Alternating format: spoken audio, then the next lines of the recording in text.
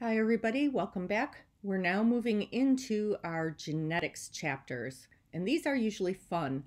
Um, don't get scared when you look at the genetics problems that you have assigned. Uh, they're actually kind of fun puzzles to, to uh, do. So think about um, your genetics assignments as little puzzles that you get to work out. All right, so let's get through on our assignments. Um, in our lab manual, which I have posted on DropSend. I have a folder that has separate uh, scanned in images of every page for those of you who don't have a lab manual available to you. Um, I have assigned a number of the problems. So the first is reading through and solving a whodunit forensic DNA project. And this kind of tells you how forensic, forensic examiners would solve uh, a problem of DNA left at a crime scene. And so that's kind of fun to do.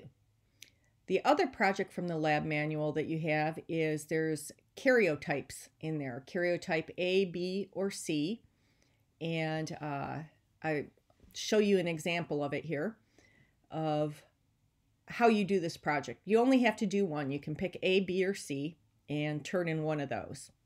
Okay, and so you need to basically patch all your uh, genes together and solve what the genetic issue is uh, from that karyotype.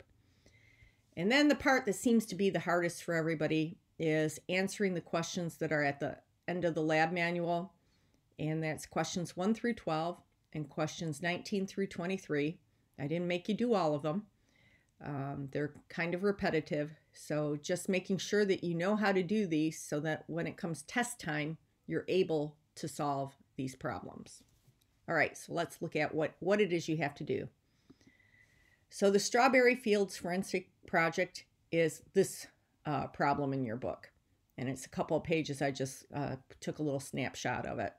And you just need to tell me who killed Penny Lane based on the DNA evidence and the rest of the assignment leads you through it. For the karyotype problem, here I think I have a picture of karyotype A, and you have pages in your book. This middle page here is where you can line up and uh, sort out your genes. And the picture on the right in yellow is a project that somebody turned in last year uh, that shows all the genes all lined up. And then they're able to tell me what the disorder is. Um, you have three possible disorders that are listed in your lab manual and it's pretty self-explanatory, but you just cut out and you literally paste and line up all, all those genes together. And then the assignments for doing the questions comes here at the end of the lab manual, starting on page 116 and I think through uh, 119. And I put the first and the last just so you're clear about which questions it is that you need to do. And you we'll be making out Punnett squares, which hopefully you'll learn how to do in this um, video. Okay, so solving problems for genetics with Punnett squares. And this is a process oriented thing where normally I work a bunch of problems out with a class, and sometimes I meet with people who are having problems uh, figuring out how to do this a little bit after lab or during lab time and sometimes uh, I actually last semester ran a tutorial, not just for my class, but for all the other classes um, that were having trouble learning how to do the Punnett square. But obviously, we can't do that in person. So I looked for and found a couple of tutorials about how to do Punnett squares with somebody working them out on the blackboard. So they tell you the process of how to think through this. And so this organic chemistry tutor video is very good as is the um, Khan Academy. The Khan Academy repeats some from the organic chemistry tutor video at the beginning, um, but then it goes through uh, some of the more difficult problems at the end. So you could probably even watch the first one and then zip through halfway through, or just watch the Khan Academy video, whatever works for you. Um, clearly, I don't have a blackboard or a whiteboard at home, and I would need to be working out the problems and having somebody else photograph me. Um, so you can see where I have a problem trying to show you how to do these, but I've, I've tried to work it out a little bit on these slides. So you have a significant number of assigned problems to turn in for this. Um, so I really, really hope that you will spend some time going through those Punnett Square videos. All right, and your textbook now starts out with discussing uh, cystic fibrosis. And cystic fibrosis, it's a hereditary disease that affects both the lungs and the digestive system and the body ends up producing a very thick and sticky mucus that can clog the lungs and it will also obstruct uh, the ducts in the pancreas that are releasing all these uh, important enzymes for digesting your food. Cystic fibrosis can be life threatening, and people with this condition tend to have a shorter than normal lifespan.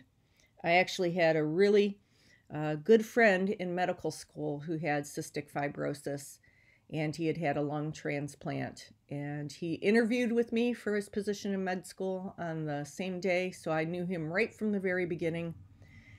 And unfortunately, he died in the middle of medical school. He got a uh, overwhelming infection that tends to affect people with uh, cystic fibrosis who've had lung transplants and are on immunosuppressants.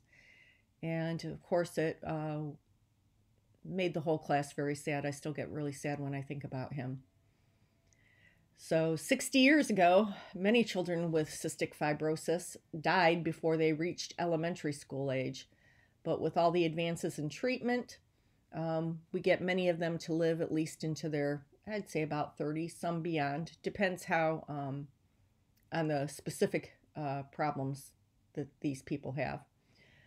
Um, there's no cure for it, it affects about 30,000 people in the United States every year. About a thousand new cases are diagnosed each year.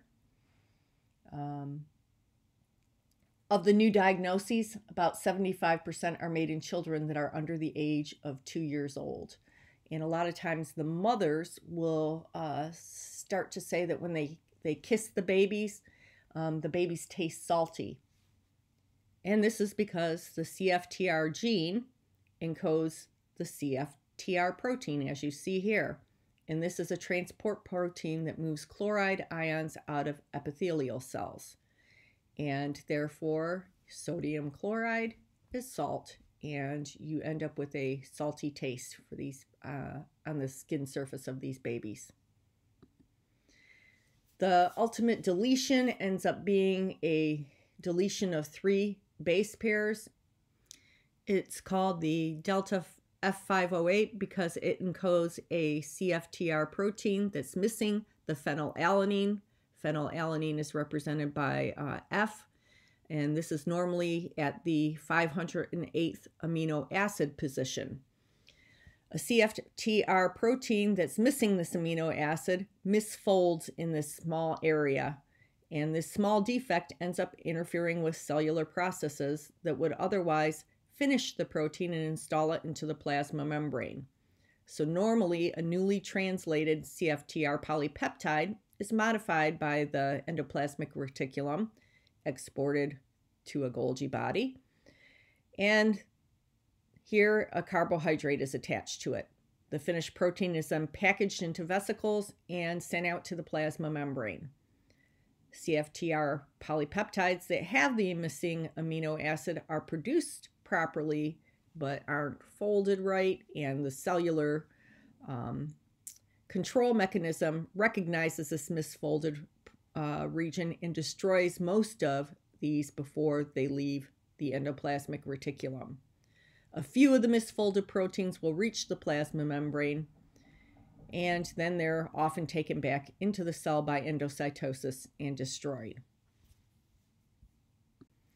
So epithelial cell membranes that lack this CFTR protein can't transport chloride ions.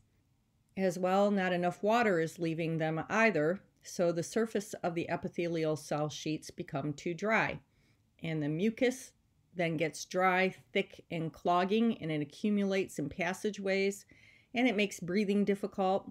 The mucus also obstructs the um, digestive uh, passageways in the gut, Males become infertile because the flow of sperm is hampered through the tubes of the reproductive system. And uh, in addition to the role in transporting the chloride ion, this uh, CFTR protein also helps alert the immune system to bacteria in the lungs. The CFTR protein functions as a receptor binding directly to bacteria and causing them to be taken into the cell by endocytosis. In epithelial cells that line the respiratory tract, endocytosis of bacteria will cause an immune system response. Without the CFTR protein, um, this uh, immune response and trapping of this bacteria will fail. So, people with cystic fibrosis get chronic bacterial infections of the lungs. And as with my friend, this is how people tend to die from cystic fibrosis is by these overwhelming respiratory infections. Now, despite many of the men being rendered infertile uh, with this disease because the sperm can't travel through the spermatic ducts. Um, CF still is a relatively common disease. It's a gene that persists in the population and it persists through the carrier status.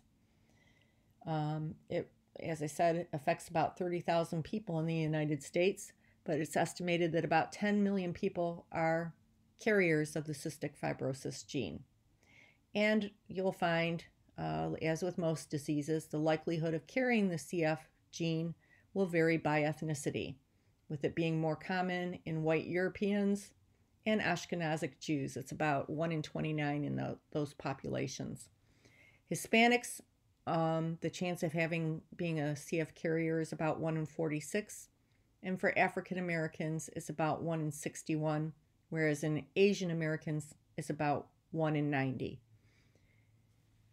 And hopefully, you'll understand the carrier status a little bit more as we go through um, some of the disorders and understanding genetics a little better after we get through the next two chapters. Hopefully, you'll come to understand that if both parents who don't have the disease, but if both are carriers, their children will have a 25% chance of having cystic fibrosis they'll have a 50% chance of being a carrier and a 25% chance of not having cystic fibrosis and not being a carrier. So, first, we're going to study some genes. Uh, we're going to go back into the 19th century and look at the studies of a 19th century monk, Gregor Mendel. Mendel is considered the father of genetics and through his work on pea plants, he discovered the fundamental laws of inheritance. He deduced that genes come in pairs and are inherited as distinct units, one from each parent. Mendel tracked the segregation of parental genes and their appearance in the offspring as either dominant or recessive traits, and he recognized the mathematical patterns of inheritance from one generation to the next. So, in the 19th century, people thought that the hereditary ma- material must be some type of fluid, with fluids from both parents blending and mixing at fertilization like milk in a coffee cup. However, the idea of blending inheritance failed to explain what people could see with their own eyes that children sometimes have traits, such as freckles, that do not appear in either parent or a cross between a black horse and a white horse doesn't produce some sort of blended horse that appears to be gray. So, over the years, Mendel had been collecting evidence of how inheritance works um, by cultivating garden pea plants. And it turns out to be very uh, serendipitous that he used these because the species is a naturally self fertilizing uh, plant, which means each plant's flowers produce both male and female gametes. And these will form viable embryos when the two meet up. And in order to study inheritance, Mendel had to carry out controlled matings between the individuals with specific traits. So, first, he prevented the pea plants from self fertilizing. He had to remove the pollen bearing parts, the anthers, from their flowers. And then he cross fertilized the plants by brushing the egg bearing plants, the carpels of their flowers, with pollen from other plants. He then collected the seeds that were produced from the cross fertilized individuals and recorded the traits of the offspring that grew up from these seeds. And all these uh, experiments took him about eight years from 1856 to 1863, and he then published his results in 1865.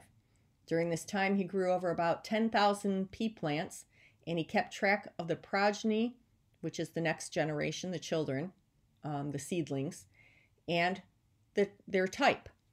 And his work and his laws of inheritance weren't quite appreciated in his time, but over time, um, it was about 1900 or so when they rediscovered his work that his experimental results were fully under, beginning to be fully understood. So let's start taking a look at that. Certainly, if they can understand this in 1900, you should be able to understand it today. So his experiments are called crosses, and they start with plants that uh, are called what breeds true um, for particular traits, such as white flowers, versus purple flowers.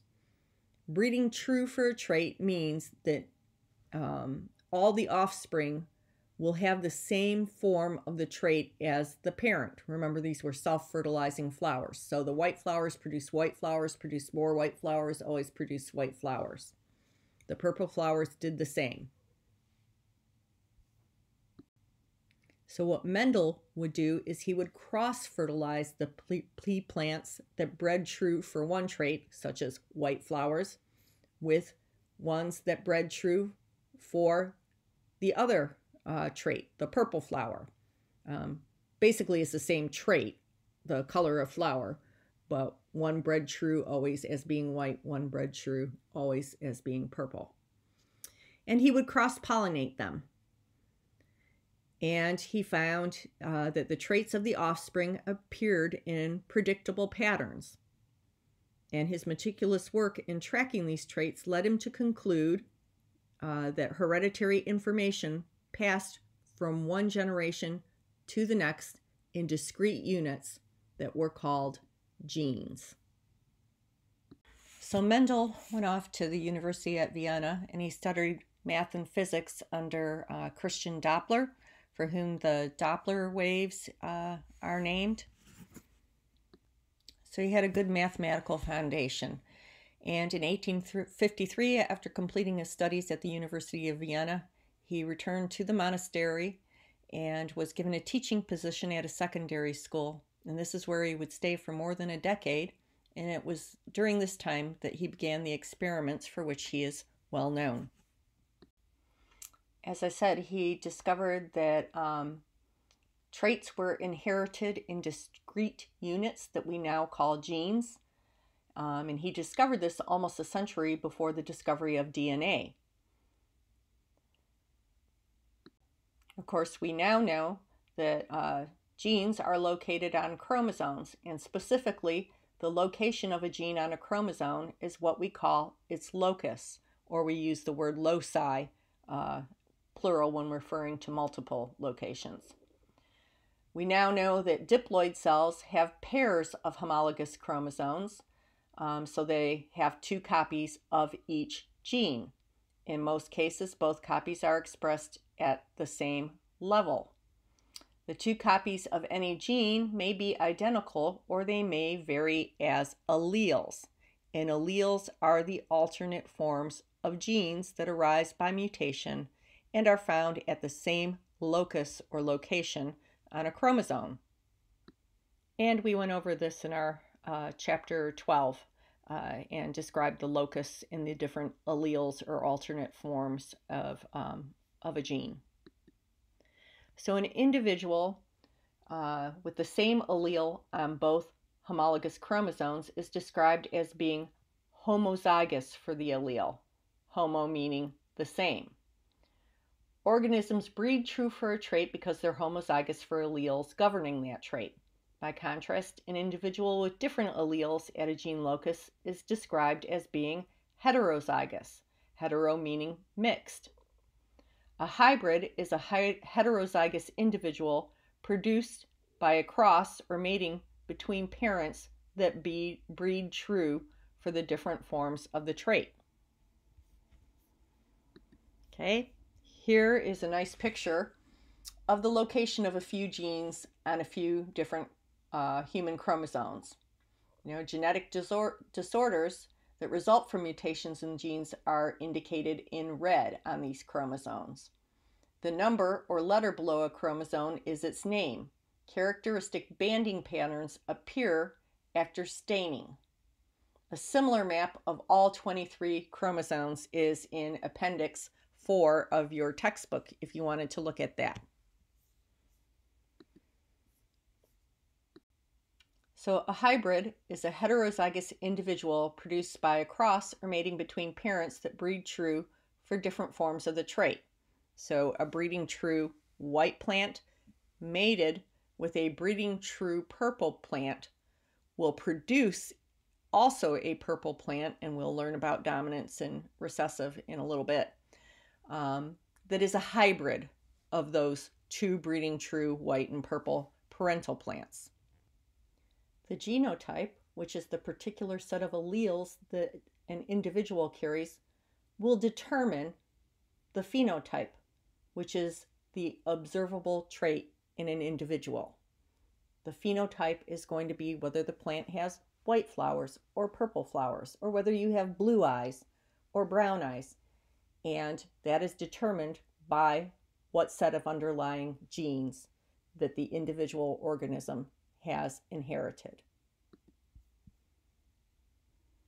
And as we stated, an individual with the same allele on both homologous chromosomes is homozygous, whereas an individual with different or alternate forms of an allele at a gene locus is heterozygous.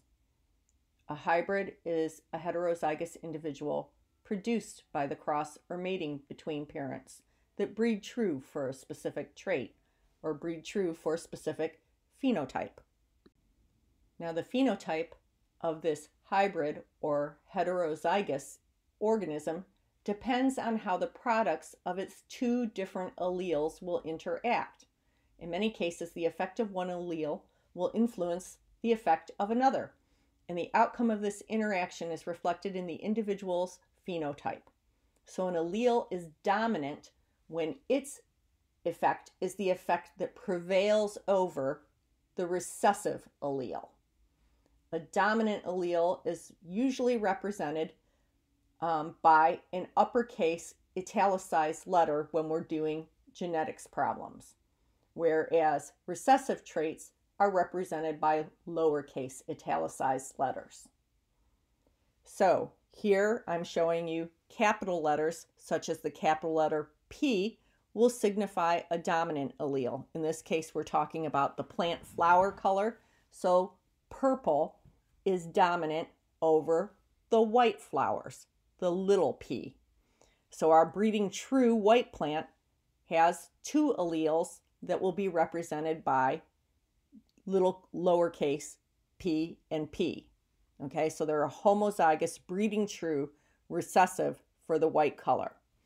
Whereas when they're mated with the breeding true plant that is homozygous for that dominant purple color, that parental plant that breeds true for purple will have two uppercase P alleles being represented. And you mate them, and they inherit the progeny, the children, the next generation, will inherit one allele from each parent.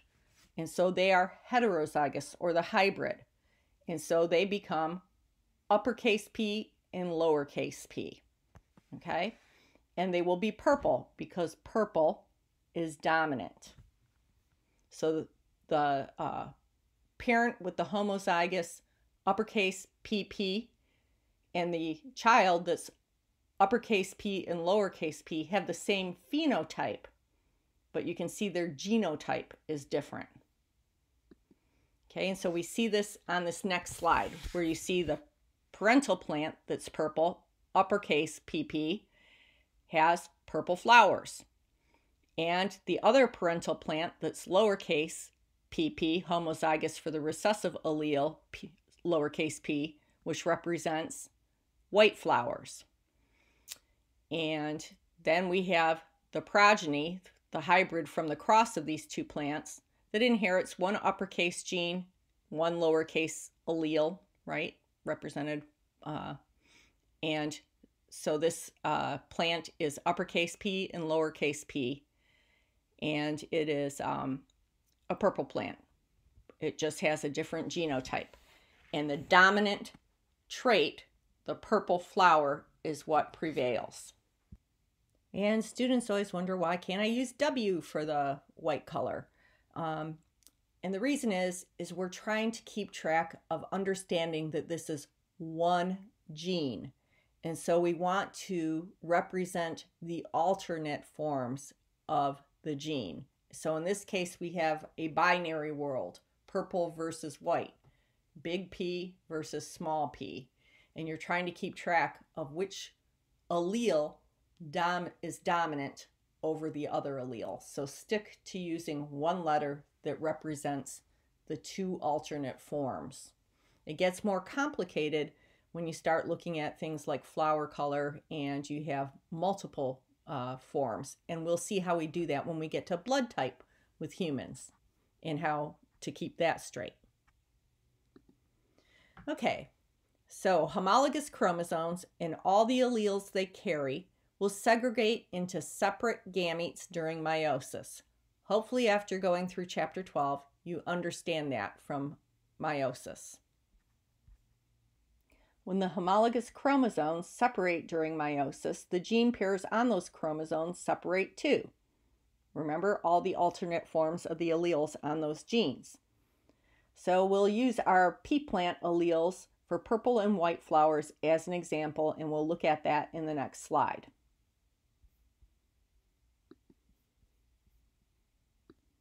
And here we see represented in blue a plant that's homozygous for the dominant allele, large P, large P, uppercase P's, can only make gametes that carry the dominant allele, uppercase P, that represents our purple flowered plant. A plant that's homozygous for the uh, recessive allele, lowercase p, lowercase p, that you see on the right, represented also by the pink chromosomes, can only make gametes that carry the recessive allele, uh, represented by the lowercase p.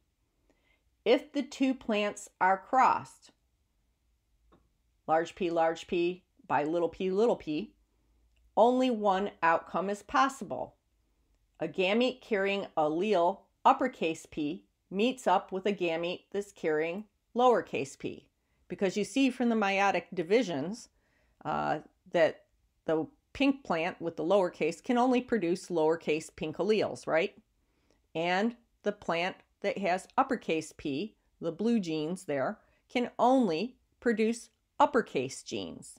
So when the gametes from those two unite to form a zygote, that zygote is going to have one gene from one parent carrying the uppercase P and another gene or chromosome that carries the gene uh, with the lowercase p from the other parent. I hope you understand that. So, one of the great values in, in studying genetics is in understanding how we can predict the likelihood of inheriting particular traits. This can help plant and animal breeders in developing varieties that have more desirable qualities. It can also help human beings explain and predict patterns of inheritance in family lines. And one of the easiest ways to calculate the mathematical probability of inheriting specific traits was invented by a 20th century English geneticist named Reginald Punnett. And so we call it the Punnett square. And this is a simple graphical way of discovering all the potential combinations of genotypes that can occur in the progeny or the children, given the genotypes of their parents. It also shows us the odds of each of the offspring genotypes occurring. So, We're going to set up a Punnett square, and you'll see the grid by drawing just a, a, a grid of perpendicular lines. And then you put the genotype of one parent across the top and the other of the parent down the left-hand side. We're going to use alleles for a pretend dominant and recessive trait, where capital A will be the dominant trait and A is the recessive trait. Okay, so you see here I uh, set it up for a male and a female. I had the male have the dominant, uh, have the recessive trait, little a, little a, and the female is going to have uh, breed true for the dominant trait, uppercase A, uppercase A, big A, big A, right? All right, so we set up our grid of boxes, um, and usually you draw in the per perpendicular lines. Here I have it as boxes, okay? And you put the genotype of one parent across the top. Here I put the female, big A, big A, across the top, and I drew in an arrow showing you where I put those uh, separated out each allele, okay? And then I put in uh, the genotype for the male. And that um, genotype will go down the grid on the left-hand side. And he's represented here, uh, his gametes, as little a, little a. Now, just for the ease of us keeping track, I put the females all in blue colors and the males all in variations of red. And so you can keep track of each specific allele um, I put them in different shades of red and blue so you can see what we're doing here. All right. Now we're going to move into predicting the kinds of offspring that a mating of a male with the breeding true homozygous for the recessive trait uh, when he breeds with a female who is homozygous breeding true for the dominant trait. Okay, so we see here in the first row of creating a new zygote or a new progeny generation, we have uh, in box one, we have a zygote inheriting the big A above it from the mother, okay, in the dark blue. And then we have in that first box uh, inheriting a little a from the father in red, okay, the dark red. So you, can you see that there? Then in the second box across the row, they inherited the other allele from their mom. This is another another offspring, another individual, okay? And they inherited the lighter blue or the brighter blue uh, big A from mom, and they inherited still that same uh, little a from dad. Now we move into the next slide, and then we see in the third box at the bottom row, they inherited, that individual inherited the big A uh, allele from mom, and it's the dark big A. And then they inherited the bright uh, colored red, little a, from dad. And then in the last box, you see the individual inherited the bright colored uh, large A from mom and the bright colored little a from dad. All of the individuals have the same genotype uh, from this mating pattern because they could only inherit it a big A from mom and they could only inherit a little a from dad. And the different colors just show you the separation or the segregation of the genes of the homologous chromosomes from each other that occurred in meiosis. On this next slide, I have it uh, with uh, the P genes and this is from your textbook, I believe. This is the Punnett square. And it shows you how to fill it in, only they filled it in backwards from the fourth box going up to the top box. And you can work it either way you want. Here, in this case, you had the male gametes having the dominant uppercase p's and the female gametes having the lowercase p's. And it shows you how you fill in each box. And you see in the progeny generation the mating of a male with the dominant gene, big P, big P, and a female breeding true or homozygous for the recessive trait, little p, little p, all of the individuals in the progeny generation, the children generation, will have a genotype that's big P, little p. If this were the example of our purple and white flowers, you would see that the, the children were all purple. But unlike the dad that was purple and had the genotype big P, big P, all the individuals in this generation are heterozygous. They carry one of the recessive genes. Their big P, little p is their genotype. So you can see how you have two different genotypes, but you have the same phenotype. Okay, phenotype is what you look like, all purple flowers. And if you aren't clear yet on how to make a Punnett square and interpret its result, uh, take some time to try to figure it out before you go on because that's what we're going to be doing a lot of for the rest of this lecture. Okay, so just to review, an offspring's genotype is the result of the combination of genes in the sex cells or the gametes, the sperm and the ova, that came together at its conception. One sex cell came from each parent. Each sex cell or gamete, the sperm and the ova, normally only have one copy of each gene for each trait. And that's how, why we separated out the two homologous chromosomes or the two parental genes for each trait because we're forming the gametes, right? Each of the two Punnett square boxes in which the parent genes for a trait are placed across the top for the mom there or down the left hand side for the dad represents one of the two possible genotypes for the parent sex cell or parental gamete, the sperm or the egg. Which of the two parental copies of a gene is inherited depends on which uh, gamete is inherited, and that's a matter of, ch- of chance. By placing each of the two copies in its own box, it has the effect of giving it a 50% chance of being inherited.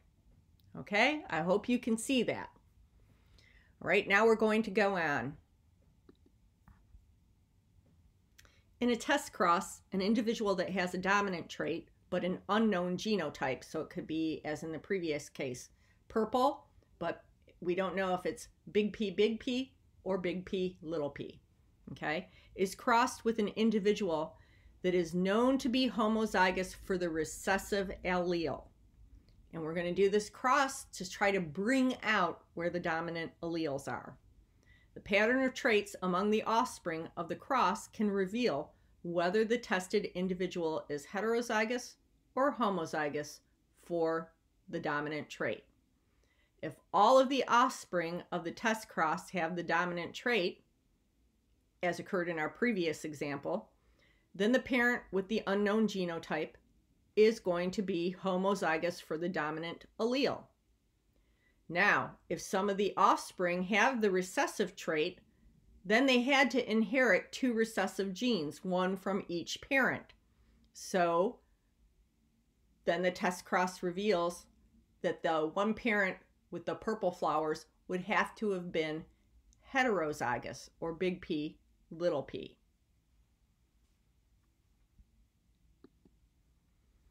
Okay, so the monohybrid cross is a test cross that checks for the dominance relationship between just two alleles, two alternate forms, like our big P versus little p, of our purple flowers. It can be a cross between either a true breeding homozygous individual, as I said, big P, big P, crossed with a white flowered or little p, little p plant, or between two identical heterozygotes. Mendel investigated dominant and recessive alleles for seven different genes, including stem length, seed color, and pod texture. And here we see the results of Mendel's experiments. You see in the leftmost column the specific trait or phenotype. In the middle column, you see which one Mendel discovered was the dominant form of the trait. And in the right hand column, you see which one he discovered was the recessive form. Now let's discuss a little bit about some of the uh, symbolism that we use. We've already discussed how we use the uppercase letter for being the dominant allele. And we use the lowercase levels for being the recessive allele. And these are alternate alleles for the same gene. So we use the same letter. Big P for purple, the dominant color, and little p for white, the recessive color. As we keep track of the generations in a cross, we use um, a large P to stand for the parental generation. And there will only be one P, so you know that it, we're talking about the generations. And F for filial, or the offspring, the progeny, the children.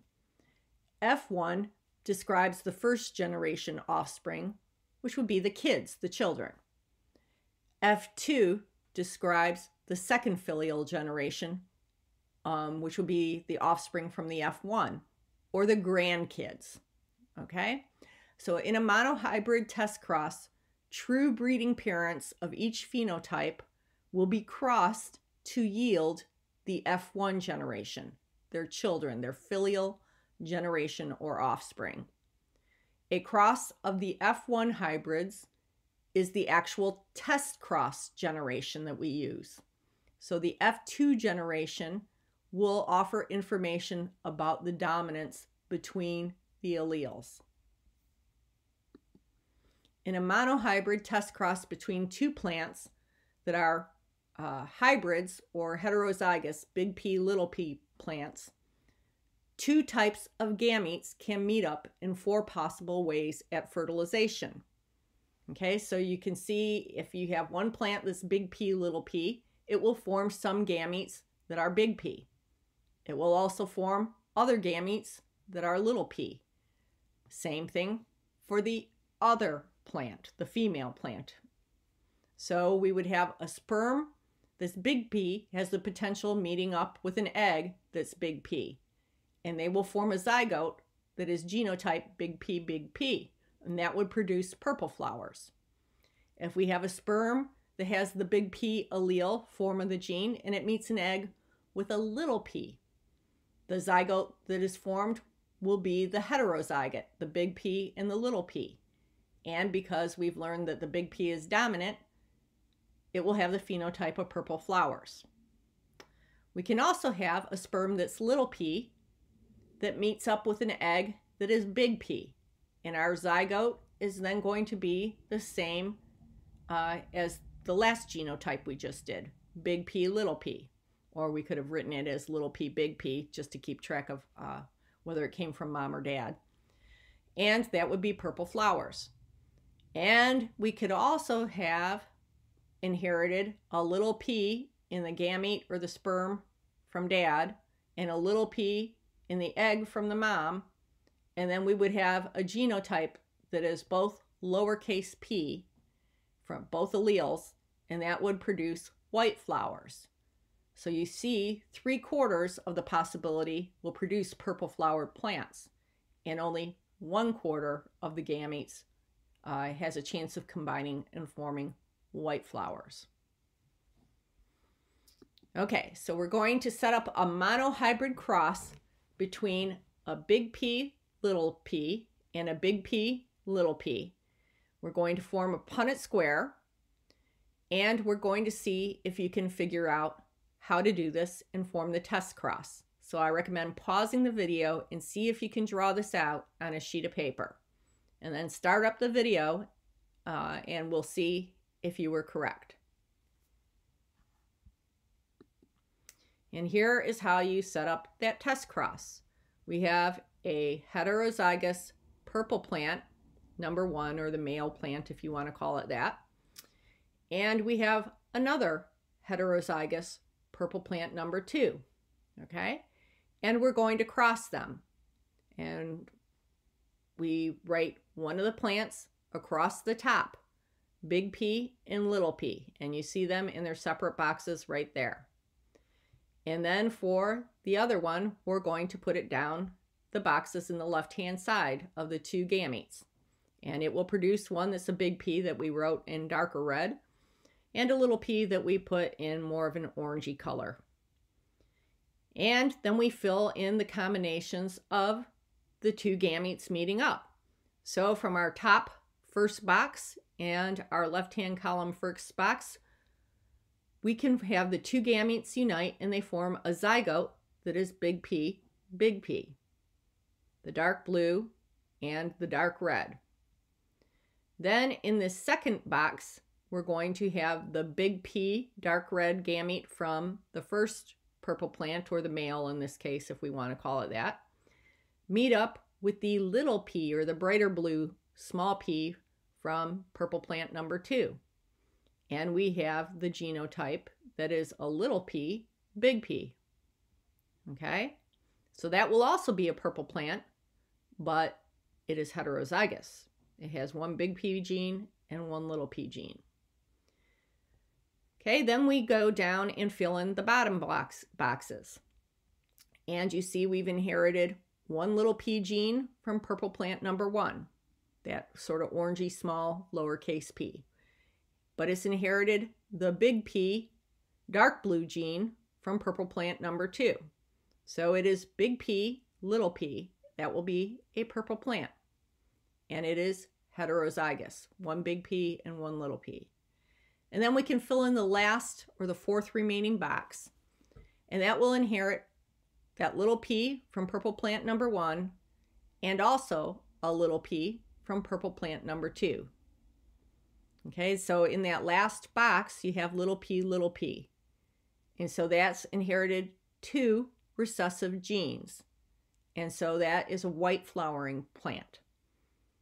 And these are the only possible gametes that could form from these two different parental plants. Our parental plants, or the parental generation, the P generation, would be the cross that we see at the top, right?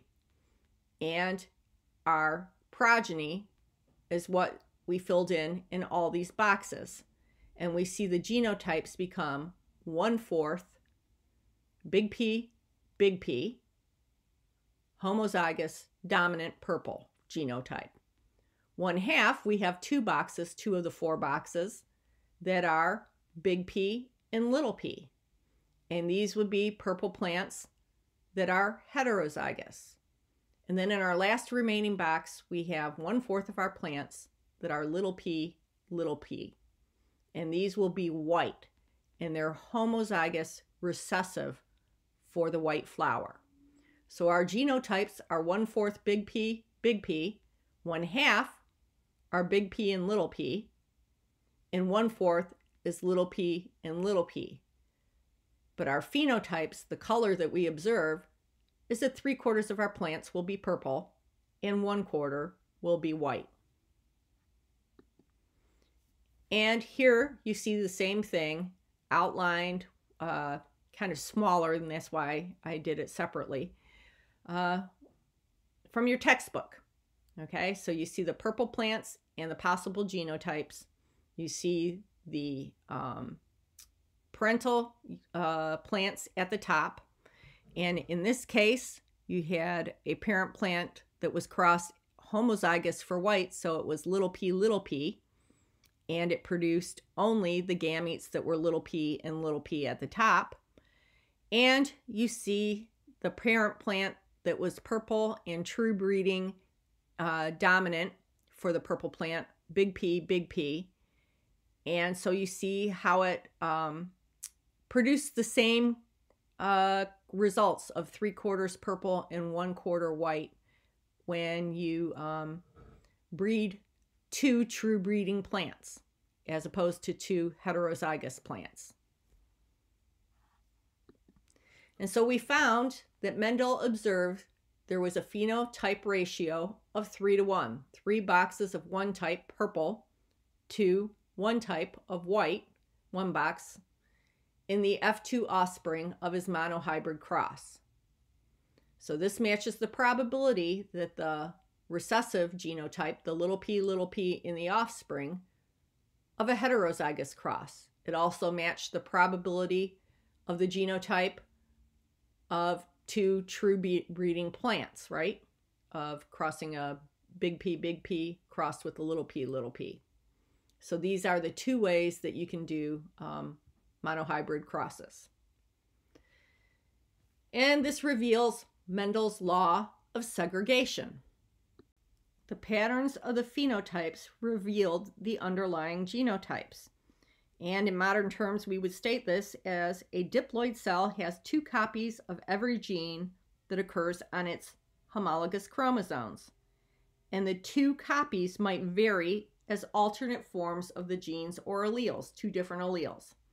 The two alleles at any locus are distributed into separate gametes during meiosis. So the law of segregation is that a diploid cell has two copies of every gene that occurs on its homologous chromosomes, and the two alleles at any locus are distributed into separate gametes during meiosis because the two chromosomes divide from each other or separate during meiosis. So let's now relate what we've learned from our crosses to what we've learned from meiosis. Okay, as we discuss, Mendel's law of segregation, which is his first law, is that two members of a gene pair, the alleles, will segregate or separate from each other during the formation of the gametes. Half of the gametes will carry one allele, and the other half carry the other allele.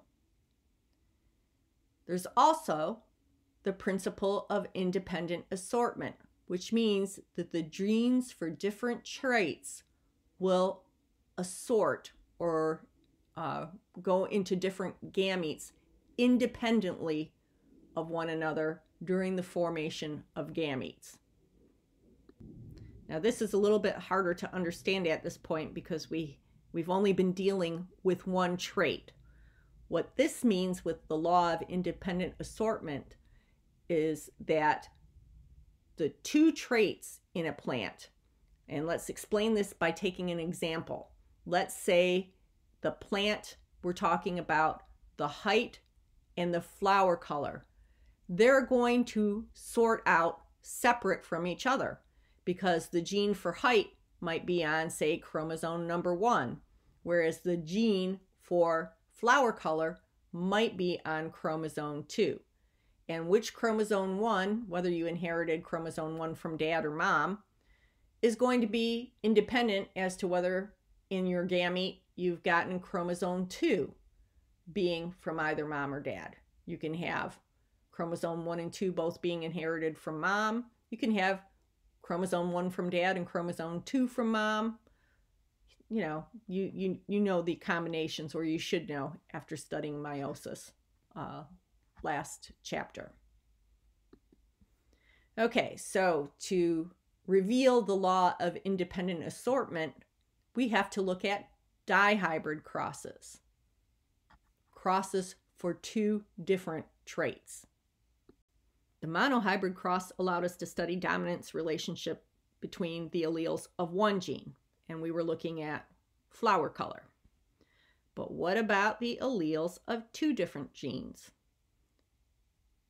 Let's say we have an individual who is heterozygous for two alleles at two different loci. So we can say gene A and gene B, okay? And do a cross between two individuals that would be big A, little a, and big B, little b. As with a monohybrid cross, the frequency of the traits appearing amongst the offspring of a dihybrid cross depends on the dominance relationships between the alleles. So we'll look how Mendel did a dihybrid cross. Let's say we start out with an individual that breeds true for two different traits. We'll use our previous example of flower color, big P for purple and little p for the recessive trait of white, and then we'll look at another uh, trait, say big T for tall and little t for short. So we're going to look at two different traits and see how all this parses out. The hybrid cross is going to begin with one parent that breeds true for both dominant traits, purple flowers and tall stems, and one that breeds true for the recessive traits, white flowers and short stems. So that will be a little p, little p, little t, little t plant. The big P, big P, big T, big T plant only makes gametes with the dominant alleles, big P and big T. And the completely recessive plant, the white flowered short plant, only makes gametes with recessive alleles, little p and little t. And remember, during meiosis, the members of a pair of genes on homologous chromosomes get distributed into gametes independently of the other gene pairs. Okay, so the best way to look at this example is by a picture. And here is the picture of the test cross in your textbook. Okay? In the picture at the top of the page, we're starting out with a completely breeding true dominant plant, purple flowered and tall stems. Big P, big P, big T, big T. And it's going to be bred with a completely recessive parental generation plant that breeds true for the recessive traits of white flowers and short stems. Little p, little p, little t, little t. Okay? These will only make gametes with the dominant alleles for the first plant and only make gametes with recessive alleles for the other plant. Therefore, our first filial generation or the progeny are all dihybrids, or big P, little p, big T, little t, from the combination of the big P, big T gamete with the little p, little t gamete. I hope that you understand that. Now, where you get to number three, we're going to do our crossing of two dihybrid individuals or plants that we made in our first filial generation. So we're going to cross a big P, little p, big T, little t plant with another big P, little p, big T, little t plant.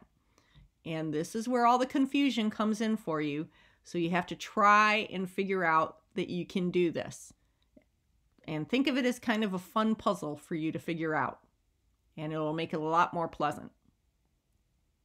Four combinations of alleles are possible in the gametes made by big P, little p, and big T, little t, crossed with another big P, little p, big T, little t.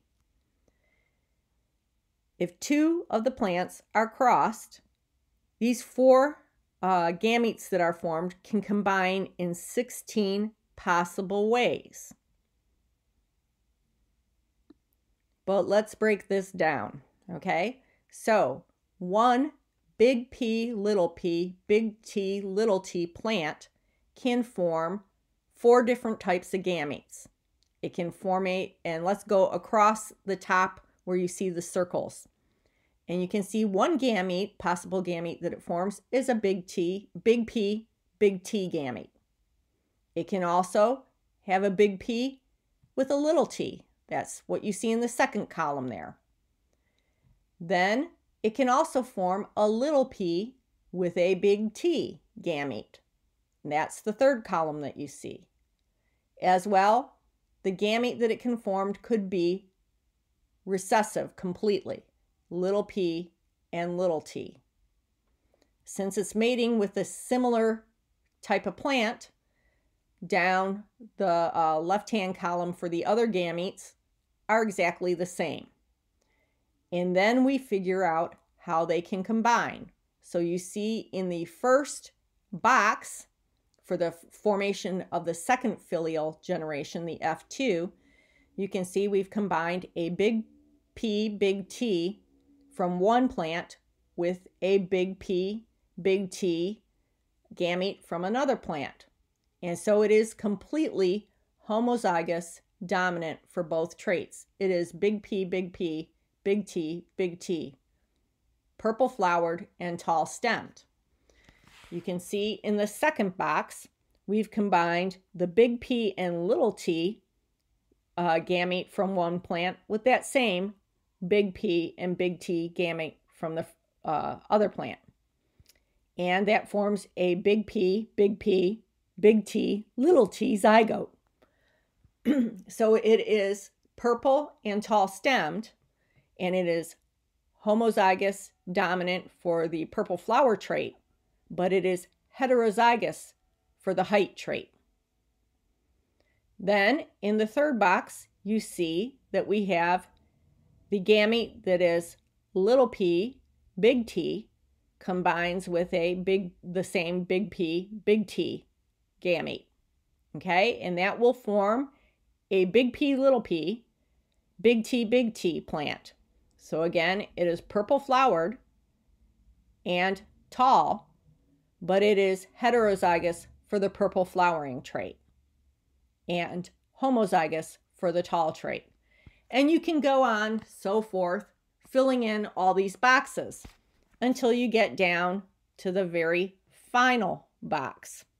And there you see we have united the little p, little t gamete from the uh, plant one with the little p, little t from plant two, and you get the completely homozygous recessive plant that is both white flowering and short.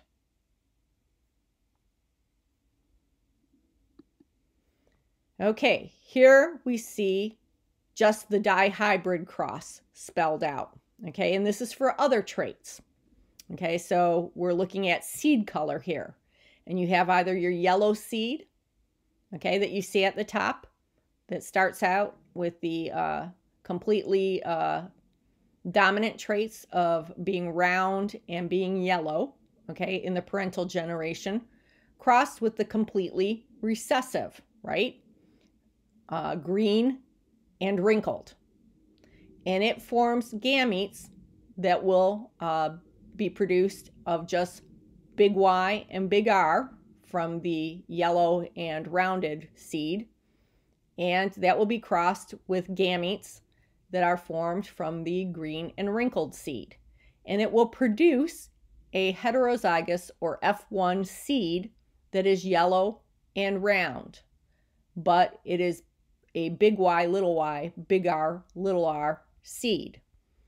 And we see the same thing with the seeds for forming the dihybrid cross between a big Y, little y, big R, little r seed with another one just like it for the F2 generation. And you see the same thing happens in the boxes. And what we found out is the same thing when you do your Punnett square is what Mendel finds out is that the dominant trait will prevail in 9 sixteenths of the plants. Okay? That they will inherit both dominant phenotypes and be yellow and round. Whereas in 3 sixteenths of the phenotypes, they will inherit one dominant trait and one recessive trait. So here we see green and round. We also get 3 sixteenths that will inherit one dominant and one recessive trait. And so you will see the other uh, dominant recessive combination of yellow and wrinkled. And only 1 16th of all the progeny will turn out to get both recessive traits, green and wrinkled. So you see how rare it is to get all the recessive traits. Now remember, when we did just one trait, three fourths of the time, you ended up with the dominant trait, and one fourth the recessive trait. And you can see now we're doing this for two traits.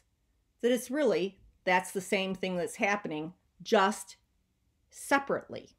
Okay? And so now we have this new separated hybrid in the middle in which 3 sixteenths are going to be dominant plus recessive, and another 3 sixteenths are going to be the opposite dominant and recessive combination.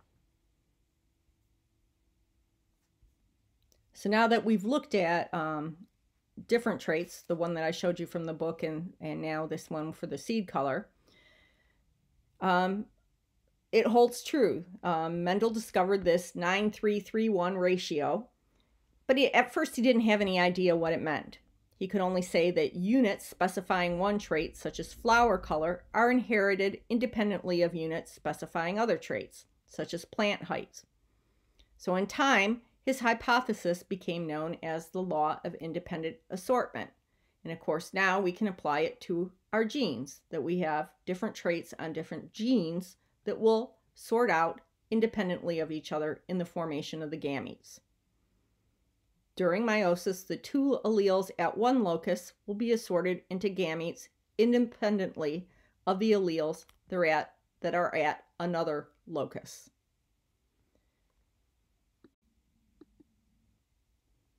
The principle of independent assortment describes how different genes independently separate from one another when reproductive cells develop. Mendel discovered this when he was performing dihybrid crosses, which are crosses between organisms that differ with regard to two traits. He discovered that the combination of traits in the offspring of his crosses did not always match the combination of traits in the parental organisms. And from his data, he formulated the principle of independent. We now know that this independent assortment of genes occurs during meiosis in eukaryotes. Meiosis, the type of cell division that reduces the number of chromosomes in a parent cell by half to produce four reproductive cells called gametes. In humans, our diploid cells contain 46 chromosomes, with 23 chromosomes inherited from the mother and a second similar set of 23 chromosomes inherited from the father. The pairs of similar chromosomes are called the homologous chromosomes, and during meiosis, the pairs of homologous chromosomes are divided in half to form our haploid gametes. This separation or assortment of homologous chromosomes is random, and that means that all the maternal chromosomes will not be separated into one cell, and all the paternal chromosomes will not be separated into another. Instead, after meiosis occurs, each haploid cell contains a mixture of the genes that the individual inherited from the mother and the father. The 9 to 3 to 3 to 1 phenotypic ratio is the classic Mendelian ratio for a dihybrid cross in which the alleles of two different genes assort independently into gametes. Nine individuals will display both dominant traits. Three individuals will display the first dominant trait and the second recessive trait. Three individuals will display the first recessive trait and the second dominant trait. And one individual will display both recessive traits. The second filial generation phenotype ratio is 9 to 3 to 3 to 1 of those four possible phenotypes. Remember, this is starting out from the parental cross of one that's completely homozygous breeding true, dominant for one trait, and the other breeding homozygous breeding true, completely recessive for the other two traits. The first filial generation, the F1, will be dihybrid or heterozygous for both uh, traits. And then we breed those two doubly heterozygous organisms to create the F2 generation, in which all these different phenotypes are revealed in the ratio 9 completely dominant to 3, one dominant and one recessive, to 3, the other dominant and other recessive, to 1, both recessive traits showing four possible phenotypes. And according to the law of independent assortment, genes for different traits will assort independently of one another in the formation of gametes. And the inheritance of one trait does not affect the inheritance of another trait. And here we see this in the formation of the gametes. At A, this example shows just two pairs of homologous chromosomes in the nucleus of a diploid germ cell. Here, we have the maternal and paternal chromosomes shown in pink and blue, and they've already been duplicated. At B, we see that either chromosome of a pair may get attached to either spindle pole during meiosis. This is during meiosis 1, okay? With the two pairs of homologous chromosomes, there are two ways in which the maternal and paternal chromosomes can become attached to the two different spindle poles. In this example, they're tracking the alleles of genes on different chromosomes. Okay, and you see them marked as little p, little p on the pink maternally uh, derived chromosome and little t, little t. And then on the paternally derived chromosomes that are in blue, you see big P, big P, and big T and big T. Okay, so then when we get to C, we'll see that two nuclei form with each scenario. So there's a total of four possible combinations of alleles that can occur after meiosis 1. So we see that first example in which you have the chromosomes separated as little p, little p, and little t, little t into one cell and big P, big P, and big T, big T in the other cell. Similarly, you see a different segregation pattern where in the third cell you see one cell that's little p, little p, and big T, big T, and another that's big P, big P, and little t, little t. And then in D, where we see our sister chromatids separating during meiosis II, the gametes that result have one of four possible combinations. It can be either little p, little t, or big P, big T, or little p, big T, and big P, little t. And really spend some time looking at this so you get it clear in your head how these different chromosomes randomly sort into different gametes. Independent assortment also occurs when the genes are on the same chromosome but far enough apart. In this way, uh, crossing over occurs, and it's so frequent that basically uh, the genes far apart on the same chromosome will sort out randomly because there will be so many crossing over events that occur between them. However, genes that will have loci very close to one another on a chromosome will always tend to be inherited together because no crossing over events, no twisting around in new combinations are formed. The genes that do not assort independently into gametes um, are then said to be part of a linkage group. They're almost always inherited together. Okay, now we'll get into the concept of codominance, just to confuse you a little bit more. In the Mendelian inheritance patterns that we discussed in pea plants, we saw the effect of a dominant allele on a trait fully masking that of a recessive trait. But there's other more complex relationships between alternate forms of the same gene or alleles and the traits that are exhibited. In codominance, traits that are associated with two alleles are both fully and equally apparent in heterozygous individuals. Neither allele is dominant or recessive to the other. And the key example that we always use for this would be the ABO blood system. The alleles of the ABO gene um, encode an enzyme that modifies which carbohydrate appears on the surface of human red blood cells. And two alleles of the gene, the A and B gene, will encode slightly different versions of the enzyme. A third allele, the O, o uh, allele, has a mutation that causes a frame shift, and the protein encoded by this allele has no enzyme involved. So the carbohydrate remains unmodified.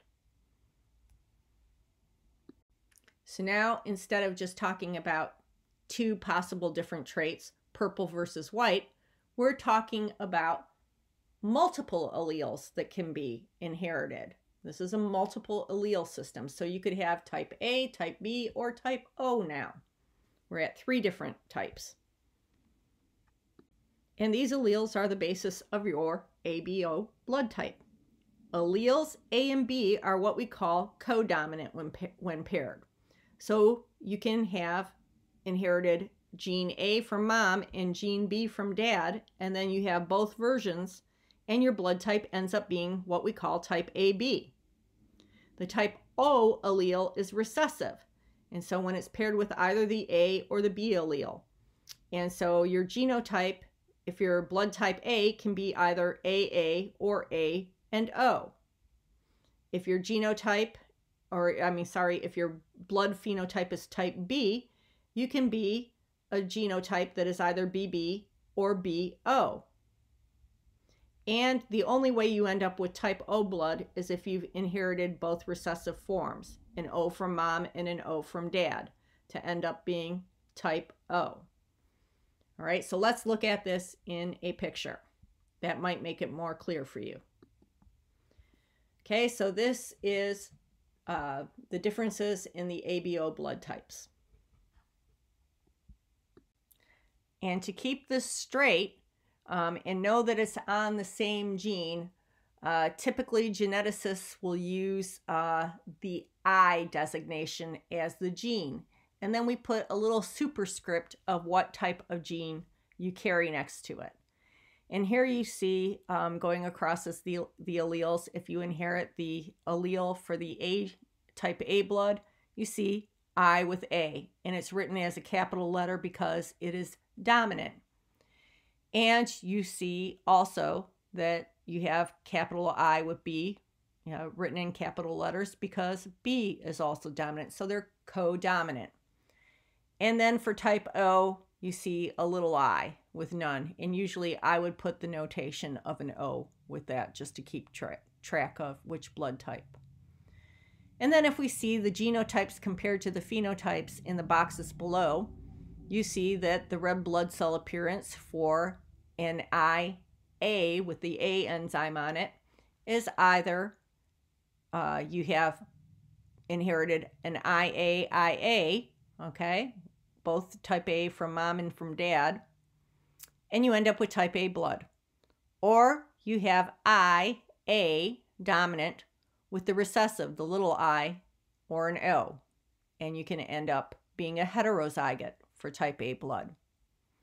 For type B blood, you can be homozygous dominant for both IB, IB, capital I, capital I, both with a B designation. Or similarly, you can be heterozygous and end up with a phenotype for uh, blood type B. You can end up with capital IB from one parent and the little i, and I would put the O designation there, um, and end up with type B to end up with type AB, you had to have inherited an A from mom and a B from dad, or vice versa. So you have to get one gene from each parent. And that's the only way you end up with type AB blood. And to end up with type O blood, you had to inherit and be homozygous recessive, both alleles. And here's the picture from your book. And it shows uh, in your book, it did the inheritance patterns, patterns leaving out the I uh, designation and just went with AA or AO. But I think you get into trouble when you start doing it that way. And I know a lot of you probably learn this way in your high school classes. Um, but start using the more geneticist derived notation. Okay, so I'll show you how I do this on the next slide. Okay, so for questions concerning blood type, like I said, do IAIA or you can be IA and IO and knowing that O is recessive. If you wanted to, you could make that a small letter I showing that it's recessive. For type B, you have to inherit a B from both parents or a B and an O from the other parent and be heterozygous. For type A, you can inherit uh, an A gene from one parent and a B gene from the other. And for type O, you've had to have inherited and be homozygous recessive, inheriting the O gene from both parents. So let's figure this out. We're going to do a cross of a type AB mom with a father who's type O. So what do we know? We know that mom has to have one gene that's IA and one gene that's IB. And dad has to have both genes as a recessive O and an O. Okay, so if I were you, I would pause right here and try to see if you can set up a Punnett square for this on your own. And then we'll work it out together on the next slide. Okay, so how you should have set this up is dad is I-O, I-O. Off to work he goes, right? and mom is IA and IB. So let's set up our square where we're going across and in our segregation of our uh, homologous chromosomes, mom has some gametes that will get the IA gene and some that will get the IB gene. For dad, he can only produce gametes that have IO. So here is our possible combinations. Going across the row, an IO from dad can combine with an IA from my, mom, and we'll have a child that's born with the genotype IA, IO, and a phenotype will be type A blood. In the next box, we see that a child could potentially have inherited a gamete from mom that was IB and a gamete from dad that was IO, and they'll form a zygote or a child that is IB, IO. So they're heterozygous and form the phenotype of type B blood with the heterozygous IB-IO genotype. Similarly, on the bottom row, once again, we inherit the IA gamete from mom and the IO from dad, and the child would be type A blood and a heterozygote. Similarly, you could also get an IB from mom and another IO from dad, and the child would be type B blood with a uh, genotype IB-IO. So we have two genotypes, either IA-IO or IB and IO, and it's 50-50 or one half to one half, right? And the phenotypes will be either type A or type B, and they're always heterozygous. And you can see how in the old days, before we uh, did DNA analysis, how sometimes we could determine paternity cases based on blood type. So let's say RIA, IB mom, our AB, mom with AB blood type, turned up having a baby that had blood type A. Would that be possible? Yes. And if the baby turned up having blood type B, would that be possible? Yes, obviously. Now, if mom had a baby that turned up being type AB blood, would that be, would our IO, IO dad be the possible father of that baby? No. Okay? So mama was up to something no good. In cases of incomplete dominance, one allele is not fully dominant over the other. So the heterozygous phenotype is an intermediate blend of the two homozygous phenotypes. Yes, of course, we had to have another situation that renders everything a little bit more complicated. Here, alleles of a gene that affect flower color in snapdragons offers a really good example. One allele, represented by capital R, encodes an enzyme that makes a red pigment. Another, represented by a small r, has a mutated allele that cannot make any pigment. Plants homozygous for the R allele, or big R, big R, make a lot of red pigment, so they have brightly red flowers. Plants homozygous for the little r allele, or little r, little r, make no pigment, so their flowers are white. The heterozygous plants that are somewhere in between, big R, little r, make only enough red pigment to tint their flowers pink.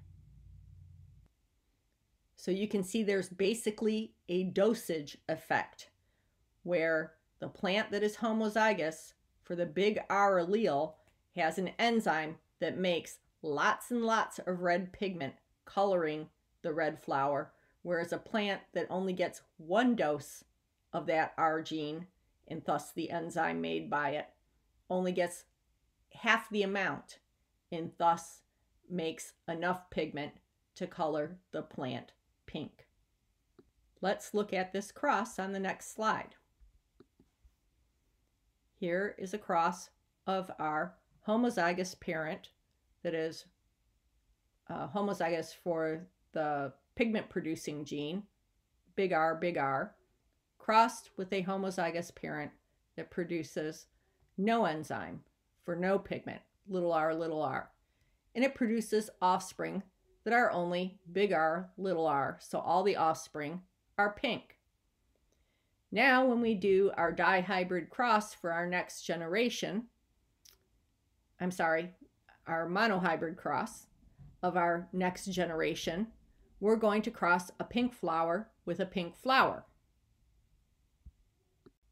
And we will see how the cross between the two heterozygous plants for this one trait yields red, pink, and white flowered offspring in a 1 to 2 to 1 ratio. And you'll see the genotype pattern is just what we saw before in our uh, monohybrid cross of the men, uh, of the pea plants, Mendel's pea plants. However, our heterozy- our heterozygotes were similar in appearance to the homozygous dominant, those three boxes, right? But now the homozygous uh, genotype is actually revealed in the phenotype. So here we have some of the progeny, uh, one fourth of the progeny will be big R, big R, and be red, whereas half of the progeny will be big R, little r, and only one quarter will be little r, little r, and those will be white. In a pattern that's called polygenic inheritance, alleles of two or more genes will determine the form of a single trait so hundreds of genes might be involved, with each gene making a small contribution to the observed phenotype. Consider how fur color in dogs and other animals arises from pigments called melanins. The color of brown or black fur arises from a dark brown form of melanin. A reddish melanin colors fur yellow or tan. The products of several genes interact to make these melanins and deposit them in fur. We're going to look at uh, the fur color in Labrador retrievers on the next slide. In Labrador retriever dogs, alleles of two genes determine whether the individual has either black fur, brown fur, or yellow fur. The product of a gene known as TRP1 helps makes uh, helps make brown melanin. A dominant allele of this gene represented by big B, results in a higher production of the brown melanin than the recessive allele, little b. The product of another gene, MC1R, affects the type of melanin that's produced.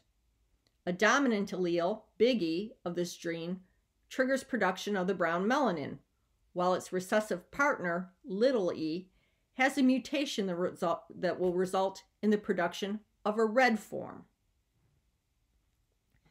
Dogs that are homozygous for the little e allele are yellow because they can only make that reddish melanin color. This pattern of polygenic inheritance, in which an allele of one gene will mask the effect of a different gene, is called epistasis. So note that epistasis is not the same thing as dominance, which describes the relationship between alleles on one gene on the same gene. This is an interaction between the products of two different genes. So let's look at that here with our Labrador retrievers. Aren't they cute? All right, interactions amongst the products of the two genes will affect the fur color. Dogs with alleles that are both dominant, big E and big B, will have black fur, okay, because they're getting um, that higher production of the brown melanin and that other gene, the MC1R gene, um, affects the type of melanin that's produced and it allows that brown melanin to come through. Okay. Those with a big E and two uh, recessive little b alleles will just have brown fur. And dogs that are homozygous recessive for the little e will have yellow fur, regardless of whether they have big B or little b coloring. Okay, and this is a lot harder for most students to understand. So try to work that out and you'll you'll get it. Okay, we can also see this in um, patterns for hair coloring. So our hair color genes are um, hypostatic to the baldness genes. Okay, and so this means that the baldness phenotype is going to prevail regardless of which hair color you demonstrate in human beings. A pleiotropic gene is a gene that influences multiple traits. So mutations in its expression um, or its product will affect a bunch of different traits throughout the body. And you'll find this exists in many complex genetic disorders. And Marfan's disorder is a very good prototype of a pleiotropic gene. It results in a mutation in a gene for fibrillin, and fibrillin shows up in many, many different tissues throughout our body parts. And so when it's altered, many different body parts are affected. So this is pleiotropy. Okay, so in Marfan syndrome, a pleiotropic gene affects the gene for fibrillin.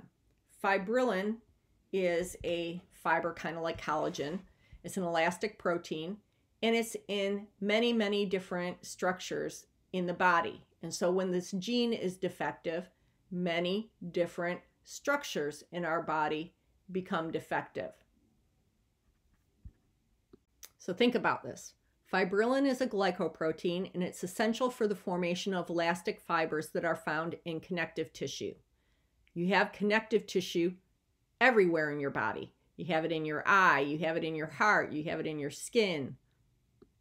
Since fibrillin is what's found in connective tissue, and connective tissue is found throughout the body, the disorder from this defect or Marfan syndrome, Marfan syndrome affects many different parts of the body.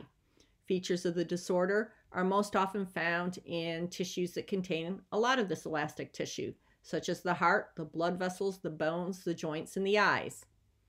And I had a former brother in law who had this, and it is a horrendous disease um, to uh, have inherited. And pretty frequently, they will die from uh, aortic dissection or rupture from the elastic walls and stretches in the um, aorta, the large blood vessel that leaves the heart.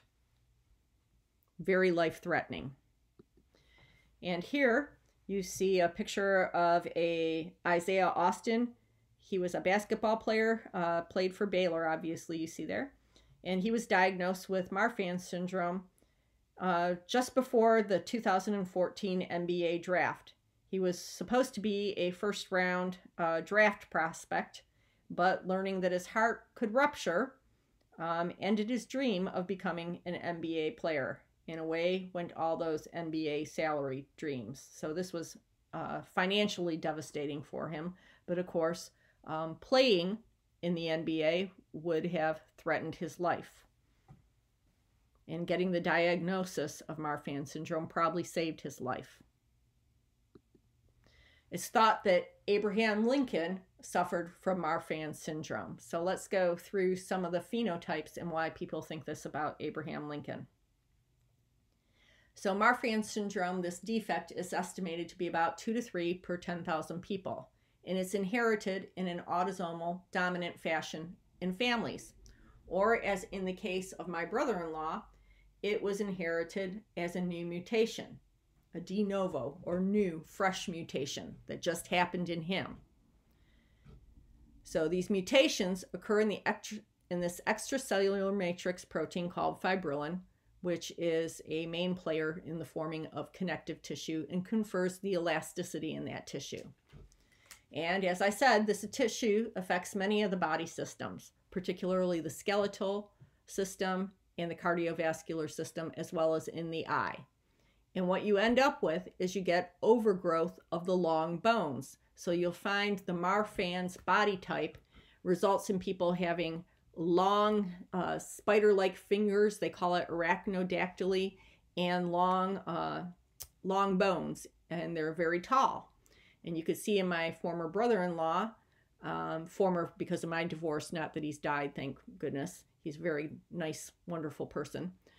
Um, he was born in a family of a bunch of uh, little petite Italians, and then suddenly there he is towering over everybody at about six foot four. Uh, one of the problems that happens in Marfan syndrome is they get what's called lens lensectopia, or they get a dislocation of their ocular lens. And so they have early diagnosis of um, eye problems. They also get a thickening of their heart valves, and this can lead to mitral valve prolapse. And of course, the big devastating thing is, is they frequently die from an aortic aneurysm and dissection. And my brother in law actually had this, and he was rushed to U of M hospital, and uh, they were able to uh, put in an artificial aortic valve and initial segment of his aorta and saved his life. And since this is an autosomal dominant uh, gene, 50% of any of his children are likely to have inherited that gene. So it's very scary and it uh, has huge consequences for family planning. So, not everything and not all traits are um, uh, completely inherited. There's the old phrase, nature versus nurture, that refers to the debate about whether human behavioral traits arise from genetics or from environmental factors.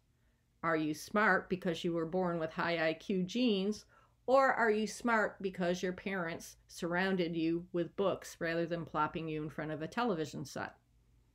So, um, there's always a debate about what co- contribution, and it's usually surrounding things like intelligence or behavioral ph- phenomenon. Um, is there a criminal gene or are you criminal because you were surrounded with criminals? You know, things like that. Um, and we summarize this thinking with the equation that your genotype plus your environment is what creates your ultimate phenotype. So, epigenetics is an area of research that's revealing how the environment makes a big contribution in this equation, bigger than what biologists initially thought. So, environment environmental cues will initiate cell signaling pathways that can in turn trigger changes in the way genes are expressed. And we'll talk about this a little bit more in later chapters. Um, some of the cell signaling pathways uh, result in methylation of particular regions of DNA. And this will either uh, suppress or, in the case of maybe non methylation, allow expression of different genes. So, in humans and other animals, DNA methylation patterns can permanently, inheritably be affected by our diet, by stress, by exercise, and also by exposure to drugs and toxins like tobacco and alcohol. Epigenetics is a very hot area of research right now. So, environmentally driven changes in gene expression patterns can be permanent and they can be inherited. These changes are implemented by gene controls, um, such as chromatin modifications, or RNA interference that will act on the DNA itself. And as I said, the big example that we have of these is DNA methylation. If you add a methyl group capping off part of a DNA molecule, it can prevent certain genes from being expressed. So here's an example of this. We can have two mice that are twins, identical twins. They're born with the exact DNA sequence, but they ended up having different coat colors. And how did that happen? And this is through epigenetics. In this particular example, a yellow mouse strain uh, is born. But when a mother is given a diet that was enriched in folic acid, which is a good source for epigenetic methylation of DNA, the resulting coat color is more brown pups being born, born than yellow pups. This is an example of how your diet can cause epigenetic changes to affect an individual without physically altering the DNA sequence. Another example of this is the effect of altitude on the growth of yarrow plants. Genetically identical yarrow plants will grow at different heights depending on the altitude at which they are grown at. In humans, we talk about psychi- psychiatric disorders having uh, a lot of epigenetic uh, effect. So, among psychiatric disorders like autism, depression, schizophrenia, schizophrenia bipolar disorder, or ADHD, attention deficit disorder, um, there are mutations uh, that have an epigenetic component. So there must be environmental components that will affect these disorders as well, because the majority of people who have the mutations never end up with these psychiatric disorders. Moreover, one person with the mutations might get one type of disorder, while a relative with the same mutation might get another disorder. So, two different phenotypes can result from the same genetic underpinning. And as I said, this is a really active area of research. And this slide shows you some of the uh, epigenetic phenomenon. Under low oxygen conditions, a water flea will switch on genes involved in producing hemoglobin. This makes um, a red protein that will enhance the abilities to take up ox- oxygen in the water. So the water flea on the left has been living in water that has normal oxygen content, whereas the one on the right is in water with a low oxygen content. In B, you see these uh, snowshoe hares that have fur color that varies by season. A hare's summer fur is brown and in winter it's white, and both color forms offer seasonally appropriate, appropriate camouflage from their predators. And at the bottom, you see the difference in the yarrow plant that depends on the elevation at which it grows.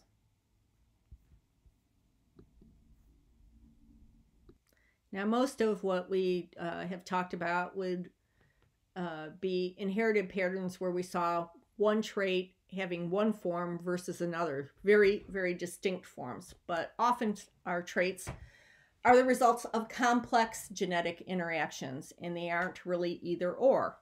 Some traits occur in a range of small differences that's called continuous variation.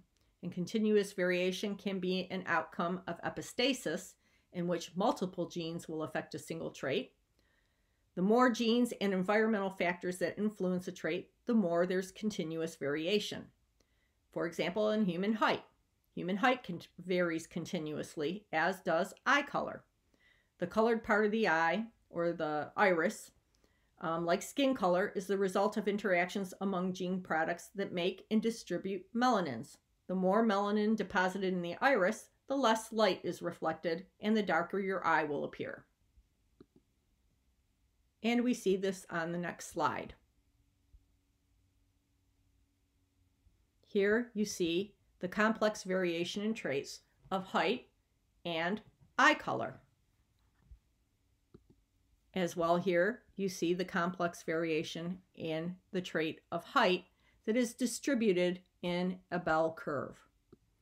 Here we divided the total range of phenotypes into measurable categories, and the number of individuals in each category reveals the frequencies of phenotypes across the range of values.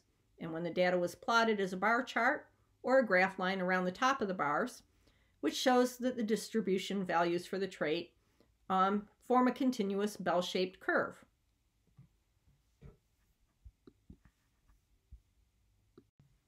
Traits that arise from genes with a lot of alleles may vary continuously. Consider that some genes have regions in which a series of two to six nucleotides can get repeated many times over and over again in a row. The number of these short tandem repeats can spontaneously increase or decrease during DNA replication and repair at a rate that's much faster than other mutations. And the resulting expansion and contraction of these tandem repeat regions may be preserved as an allele. For example, changes in the number of short tandem repeats have given rise to 12 alleles of a gene that influence face length in dogs. Alleles with more repeats are associated with longer faces. We also have this in humans and a syndrome that's identifiable with um, nucleotide repeats is the Fragile X syndrome. Fragile X is mapped to the long chromosome, uh, long arm of chromosome uh, X, the X chromosome, one of the sex uh, determining chromosomes. Patients can carry from 230 to over 4,000 repeats of a CGG sequence. CGG, CGG, CGG, repeated over and over again in that X chromosome. Individuals that don't have Fragile X only have up to about 50 repeats of this sequence, but carriers of the disease will have probably hundreds of repeats. This confers a sort of chromosomal instability, and uh, this will present as a phenotype uh, with an intellectual disability and a particular distinctive facies or a look, a particular feature about the face. Okay, so let's see what that looks like. So you see these large ears and the broad forehead in a fragile X individual. And obviously, you don't see the intellectual disability, but you see the site that the arrow's pointing to, called the fragile uh, site, is an area where you have these multiple repeated uh, tandem uh, CGG repeats, and that gives an instability to the X chromosome. Here, you see the difference in the 12 alleles that we talked about earlier um, that results in that homeotic gene that influences the face length in dogs. So the alleles with more repeats are associated with the longer face. And then you see versus the short face in a dog.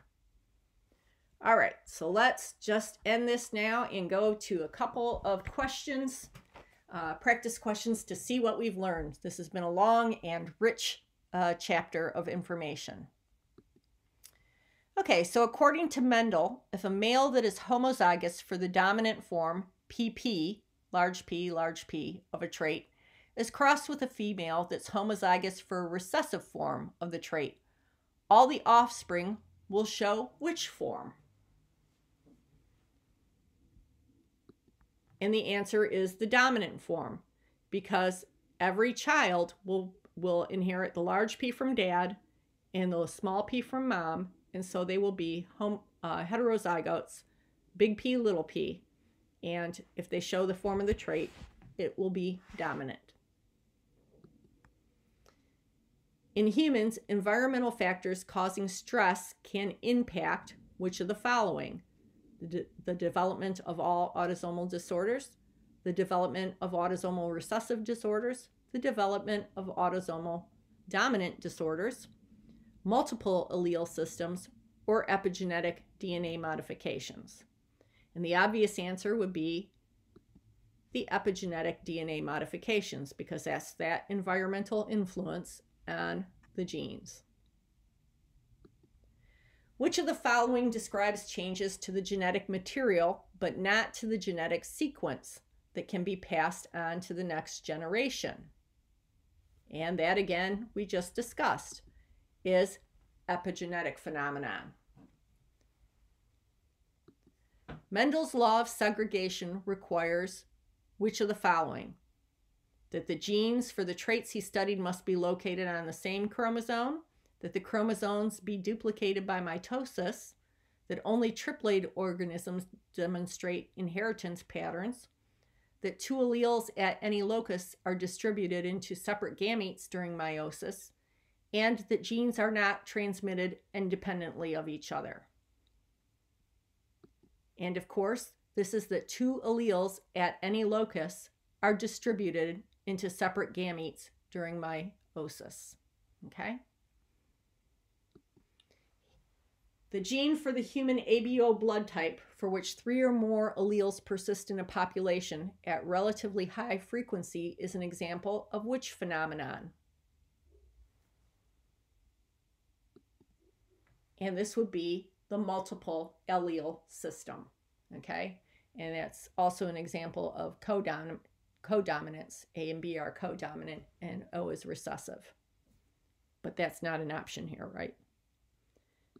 Okay, a cross between two individuals who are identically heterozygous for one gene is called which of the following? Dihybrid cross, monohybrid cross, test cross, or Punnett square. And this would be a monohybrid cross. Okay, they're hybrid for one trait, so mono and hybrid. A hybrid with two non identical alleles big A, little a, expresses a phenotype that is between the dominant, big A form, and the recessive form, little a form. This type of inheritance pattern is called what? And this would be incomplete dominance, such as what we uh, examined in the example of the snapdragons. Uh, between red and white, we had the pink phenotype. An individual that has two dominant alleles for a trait, big A, big A, is called, and this would be a homozy homozygous dominant.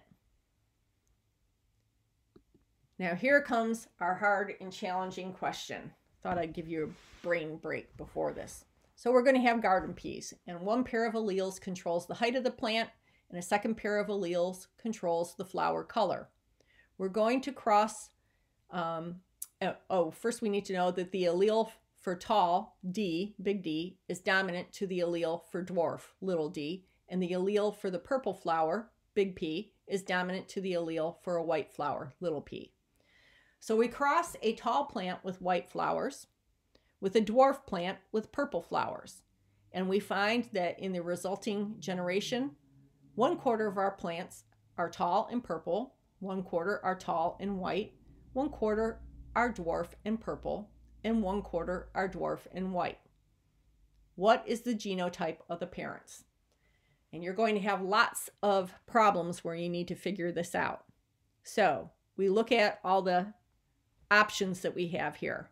But first, let's write down and think about what we know. Okay? So let's look at what we know first. We know that we have a plant that we're crossing that is tall and white. If it is tall, it has to have one of the dominant genes for being tall, so a big D. The second gene, we don't know. It could be either the dominant gene or a recessive gene, right? We also know that its flowers are white, so it has to carry two of the recessive genes. So D, big D, with an unknown other gene allele, and little p, little p must be the basis of the phenotype in that plant. Now, when we look at the progeny, we know that we have both re recessive traits appearing in the progeny, right? So therefore, both parents must have at least one recessive gene. So our parental parent must be big D, little d, right? because there's no way you're going to get dwarf plants if he had if the uh, parental plant had only big D genes or big D alleles. So then we can go back and start crossing out things. Okay? A, we know that our first plant uh, had to be little p, little p, so we can cross that out. Okay, same thing for B. Now, when we get to option C, we know that we have to have our plant being big D, little d, right? Um, and it could not possibly be big D, big D. So we get to cross out options C and options E, and we're left with our answer being option D. So since you had options available, this was a little bit easier to figure out than going through and making big Punnett squares and getting all worked up that you could not figure this out. It was actually relatively easy to figure out. Okay, so when you see lots of words up there and it's talking about lots of traits, take a deep breath and then think it through. It's a lot easier than you uh, think it's going to be. Okay, so now assume that we have plants with red flowers crossed with plants with white flowers to give rise to plants with pink flowers. That should ring a bell. You can eliminate the plants with red flowers by crossing what colored flower plants for the first generation and what other colored plants for the second generation. So assume that the plants with red flowers are crossed with plants with white flowers, and they will give rise to plants with pink flowers. You can eliminate the plants with red flowers by crossing pink flowered plants for the first generation and white flowered plants for the second. That should make sense to you. Okay, if tall is dominant to dwarf, if the true breeding tall plant is crossed with the true breeding dwarf plant, the F2 generation will have a ratio tall, tall to dwarf in what uh, particular ratio. And this is that monohybrid cross that you should be familiar with. And you know that the tall and dominant dwarf F2 generation will have the phenotypic ratio of 3 to 1 because their F1 will all be big D, little d. And when we cross big D, little d with big D, little d, you're going to get a ratio of 3 to 1 of the phenotypes in the next generation. Okay, that was a long chapter, and we'll see you next time for chapter 14.